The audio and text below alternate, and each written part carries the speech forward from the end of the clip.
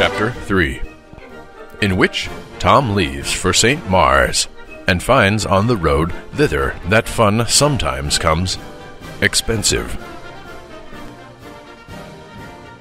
This interval of five months taught Tom several years, as it were.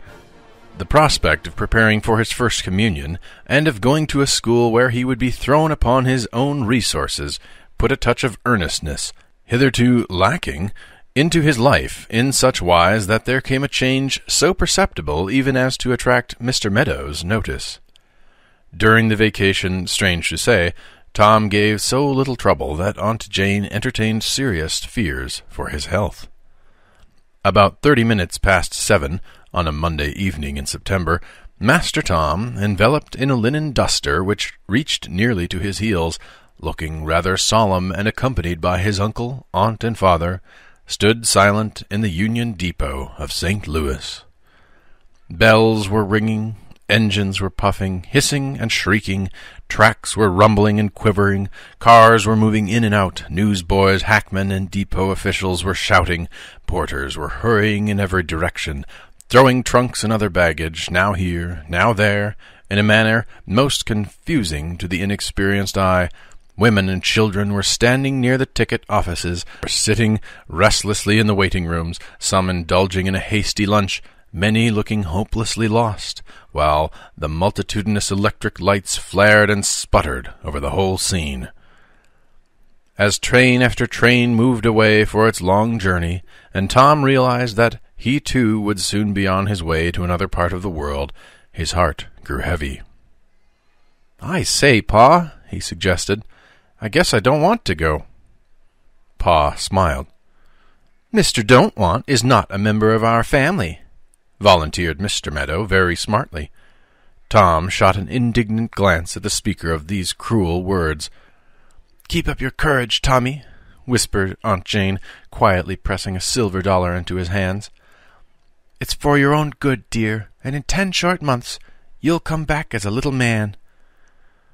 The prospect of ten short months and the resultant of a little man afforded him small consolation, but the silver dollar had a reassuring effect. Absenting himself from the family group, he immediately expended one quarter of his aunt's gift on a paper of caramels and a cream cake, and he was thinking very seriously of laying out twenty-five cents more in the purchase of a toy pistol, when a crowd of boys of all ages and sizes came pouring into the depot. Tom gazed at them in amazement. I say, he said, addressing one of the boys about his own age, what's broken loose? Instead of answering this question, the boy stopped and considered Tom attentively. Don't you belong to our crowd? he at length said. What crowd? asked Tom. The St. Maure's fellows. What? cried Tom in amazement. Are all you fellows going there too? That's what they say, well, then, things aren't so bad as I thought they would be. I say, let's be partners. My name is Tom Playfair. What's yours? Harry Quip. Here, take some candy, said Tom, opening his package. Harry embraced both offers. Henceforth he and Tom were partners. While the two were thus exchanging small boy courtesies, a clean-shaven gentleman, somewhat beyond middle age and attired in a clerical suit, walked up to them. Harry raised his hat and endeavored to compose his features. Well, Harry, said the newcomer, who is this little friend of yours? Tom, perceiving that the eyes of the gentleman were fixed upon him, became nervous, and, in endeavoring to bolt a caramel which he had recently placed in his mouth, nearly choked himself. This is Tommy Playfair, said Harry. Oh, indeed. So this is the boy that runs after fire engines, is it? Only did it four or five times in my life, father. And gets himself on top of slippery roofs? Tom only remarked, Please, father, I won't do it again. Upon this the reverend gentleman who had charge of the boys laughed cheerfully, and shook his new acquaintance's hand, and, cautioning both to take their places in the car which he pointed out, hurried away to see to the safety of the luggage. What's his name? inquired Tom. That's Father Teeman, He's prefect of discipline at the college. Discipline? echoed Tom, with a vague idea of a cat o' nine tails running through his head. What does that mean? It means he does the whipping. Wah! But he doesn't look so savage. He doesn't have to. But just wait till he catches you cutting up. He'll thrash you so as you will prefer standing to any other position for a week after. Tom was appalled. His companion, could he only know it, was exaggerating grossly for the sake of enjoying a newcomer's surprise and terror. Does he thrash a fellow often? was Tom's next question. Well, I should say so. Last year I got whipped nearly twice a day. There was scarcely a week that I didn't go to the infirmary to lay up for repairs. Gracious! ejaculated Tom. I won't stand it. Harry, you and I are partners. I'll tell you what, let's do. Nobody's watching us. Let's slip out. I've got a dollar, and we can support ourselves on that. And we, when we get broke, we'll sell newspapers. Harry had no idea of encouraging Tom to run away. In his schoolboy idea of a good joke, he merely wished to put him in a state of dismal suspense. So he said, Oh, you needn't get scared. There's lots of fun out there. I don't see any fun in getting strapped once or twice a day. You won't get a strapping at all, maybe. I was such a dreadful hard case, you see. That's why I got it. Notwithstanding this avowal, it is but just to remark that Harry Quip's features, in their normal state, wore a very mild expression. Still, Harry's explanation did not succeed in disarming Tom's fears. If there were to be any wild boys at St. Maure's, Tom, like Abou Ben Adhem, had substantial reasons for believing that his name would lead all the rest. He was about to press his proposition of running away with still greater earnestness when he heard his name called. Coming directly, sir. I say, Harry, you keep a seat for me next to you in the car. And Tom pattered off to bid adieu to his father. Well, my boy, said Mr. Playfair, catching Tom's hand, I'm about to put you into good hands. But you must be careful. You will now be thrown among all kinds of boys, good, bad, and indifferent. Remember that on your choice of company depends in great part your piety. Teachers may instruct, Priests may exhort, but if your company be bad, you will be no better. And don't forget that every day you are preparing for your first communion. That should be the day of your life. If you make a good first communion, you'll be sure to get on well. So look out for your company, and try to be as good a boy as you can. Now, my dear child, be watchful on these points. As to the rest, I hold no fear. Here's something to keep your courage up, but don't spend it all at once. Tom took the advice in good part, and the five dollar bill with effusive enthusiasm. Then, kissing his father, he turned to Aunt Jane. The kind lady could not repress a few sobs. God bless you, my boy, she faltered. Be sure and write every week, and I'll pray for you every morning and every night so long as you're away and she handed him a basket laden with his favorite delicacies. Tom's eyes filled at these exhibitions of his aunt's kindness. I've been awful mean to you, Aunt Jane, lots of times, but I didn't intend anything, you know, and I'm sorry. When I come back, I hope I'll be better, honor bright. Even Mr. Meadow, yielding to the solemn influence of a parting scene, had purchased his nephew a red covered book concerning an impossible boy who met all kinds of impossible adventures in an impossible country. Chicago and Alton Railroad, all aboard for Kansas City, shouted a voice. That's for you, Tommy, Mr. Playfair said. They all moved towards the cars indicated. An African American in the official garments of the road met them halfway. Is he a college boy, sir? Step just this way, sir. I have the honor of taking charge of them. Come on, young gentlemen. Now up you go. And without giving our hero an opportunity of making a farewell speech, he quickly raised Tom up on the platform, and in a manner quite gentle yet effective, pushed him into the reclining chair car. Here you are, Tom, shouted Master Quip, who, faithful to his promise, had kept his friend a seat beside him. Tom hastened to occupy the vacant chair and seated himself as the train began to move out from the depot, while the boys gave three vigorous cheers.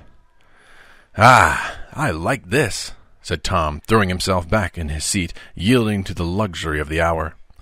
Jolly, isn't it? Harry observed. Take a smoke. And he offered Tom a cigarette. Well, no, said Tom with some hesitation. Why not? Well, I'll tell you, answered Tom in a burst of confidence. I hate anything like a humbug, and if I was to smoke now, it would only be to look big. You see, I've got no liking for it. I've smoked once or twice up in Papa's hayloft, and it's always made me feel bad. So, you see, I don't like it, and I'd be a humbug if I pretended I did. This was one of the longest speeches Tom had ever made, and it produced its impression. Well, you've got true grit, Tom, and I like you the better for what you've said. I like a smoke myself once in a while, but I'm pretty sure that half the little chaps who do it only do it to look big.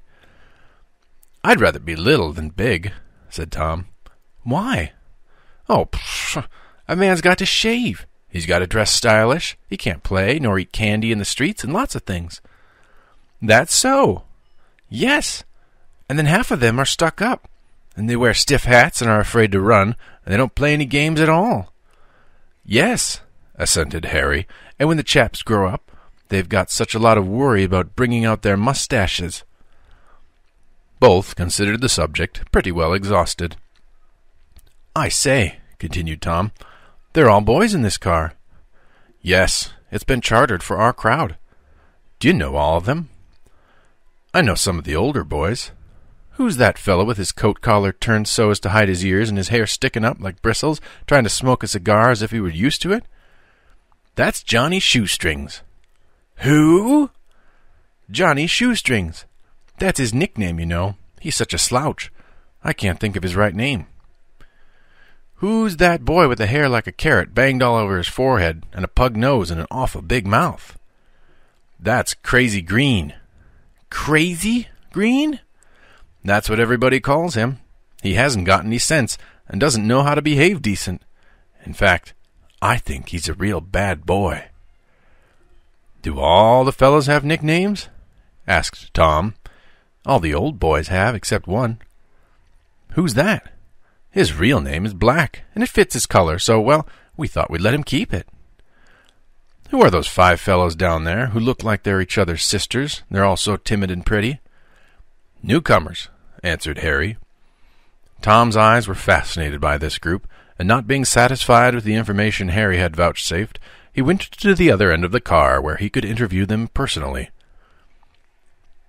Having first satisfied himself by taking a deliberate survey of the five, much to their uneasiness and manifest discomfiture, he opened the conversation thus. I say, hello! The largest of the group, a boy about fourteen, answered timidly, How do you do, sir? I ain't sir. My name's Tom Playfair. What's your name? Alexander Jones. Whew! Five Joneses. Are any of you twins? Harry and Willie are twins, sir. There ain't any triplets among you, are there? No, sir, not this time, answered Alexander Jones, who, in his timidity, was accidentally facetious. Well, good-bye. Take care of yourselves. Then, bestowing a genial grin upon the Jones brothers, he returned to his seat. The train, having now crossed the great bridge that spans the Mississippi and passed out of the city of Alton, was speeding along through the open country. Without, it was pitch dark, and the sable solemnity of the night was enhanced by an occasional light that flashed before the eyes of the passengers at the windows, and then as quickly disappeared. I say, what kind of place is it? asked Tom, resuming his conversation with Harry. What place? The gravy station? Is that what you call it? Yes, they feed us on cornbread and gravy. Don't you get any meat? Oh, yes, they give us meat on Christmas. And New Year's, everyone gets a small piece of pie. Gracious! cried Tom, absently placing his hand on his stomach. But I suppose you have lots of holidays? Not so many. I can tell you. And then, even then, we've got to stay cooped up in a little yard that isn't large enough to swing a cat in. They're not going to treat me that way. When no one is looking, I'll slip out every chance I get. If you do, said Master Quip, who was bent on scaring Tom to the utmost, you'll get collared by a prefect and then posted. What do you mean, get posted? Why, a great big prefect bangs you up against a tree box or a post or a stone wall and tells you that if you move from it before three hours are up, he'll petrify you. Tom groaned. I guess all my fun is over, he muttered in a faltering voice. Oh, we have fun sometimes, you know. How is that? asked Tom anxiously. Why, we go out walking in ranks, two abreast, on recreation days, with a big prefect walking in front and another big prefect behind us. Then we walk six miles or so, that is, we keep on walking till most of the little tads aren't able to stand any longer. We sit down and then rest for five minutes uh, before we start walking back again. And then, while we are sitting down to rest, we are allowed to talk, you know. Why, can't you talk when you're walking? Not much, said Harry emphatically. And do you mean to say, cried Tom excitedly, that after five minutes they're able to walk back again? I didn't say any such thing. Are they left behind then? No, indeed. They always have a big hay wagon along, and when a fellow can't walk, they tumble him in. But he's got to be mighty tired before that happens. So, said Tom, after a moment's reflection, that's what you call fun? Certainly. It's the jolliest kind of fun. I suppose you fellows consider a funeral a good joke. Tom did not know that he was sarcastic. You're talking now, said Harry. Whenever a boy dies, we get the night off studies. Does a boy die often out there? Harry ignored the literal meaning of this question as he answered, oh, No, not as many as we would like. Only two or three a month. What do they die of? They don't die at all. They get killed by being hit over the head with a loaded cane. Tom jumped up from his seat. Take it back, he said with considerable fierceness. Take what back? inquired his astonished friend, rising from his reclining position. You've been telling me yarns. Take it back, will you? Or you and I aren't partners any more. Wow, I'm willing to take it back. I only did it for fun. Just wanted to rattle you a little. You needn't get mad about it. Whither the conversation would have drifted is impossible to say, for as the train stopped just then at the station, Harry and Tom, with that natural curiosity to see and know all things which is the proud prerogative of the American boy, dashed out upon the platform. So satisfied they were with this new position that they resolved to keep it for the time indefinite, and accordingly squatted down on the side steps. They were not long there, however, when Father Teeman ordered them inside. Harry, suggested Tom when they had gained their proper positions, Let's have a little fun. What are you thinking now? asked Harry. Let's play conductor. Harry glanced around the car dubiously. It was now after ten o'clock, and most of the boys, wearied with the excitement of the day, were asleep. What's the use? he said. Nobody's awake. All the better.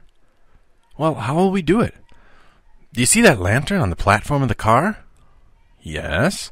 Well, that's the idea. Come on.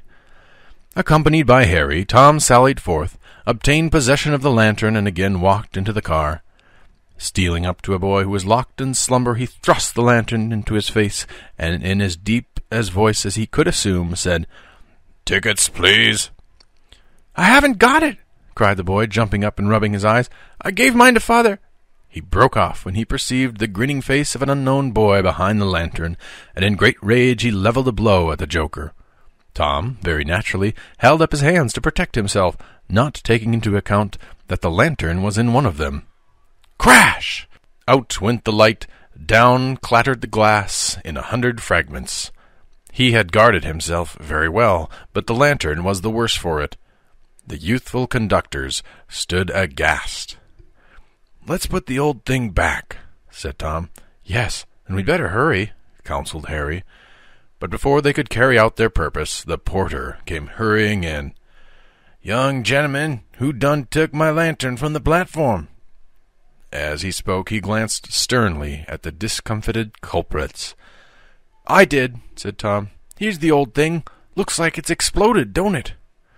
Oh, muffins! cried the porter. It's ruined, and I'll be discharged. You young bantams, what did you go and spoil my lantern for? Tom, remembering the words of Scripture that a soft answer turneth away wrath, put his hand into his pocket and came out with it filled and said, Here, old fellow, take some candy. Sir, I doesn't want none of your candy. Unless I can get a lantern at the next station, I'm ruined. Can't you pay for it? Because if you don't, I'll report you to the company. How much do you want? asked Tom, sadly. Four dollars, sir, said the conductor, smiling and muttering that he knowed they was gentlemen. I'll give you fifty cents, said Tom. Does you want to ruin a poor man? How does a dollar suit you? Can't afford it, sir, for less than two dollars. Well, I'll give you a dollar and a half, and we'll call it square. Seeing you're such a perfect gentleman, I'll take it, sir. And the conductor went away, rejoicing in a neat bit of profit. Boys, said Father Teeman, coming upon them from behind, suppose you go to sleep, or at least give the others a chance to rest. Get your chairs and keep them. I don't want any more fun tonight, said Tom ruefully. Neither do I, said Harry. And the two innocents, falling back in their chairs, soon slept the sleep of the just.